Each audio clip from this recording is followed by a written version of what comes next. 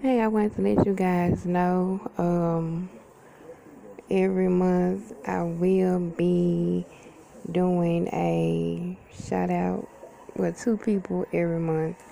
The beginning of the month and towards the end. I already did one shout out that was kicking it with Ben. I put ing on there, but it's K I C K I N with Ben, not you know ing.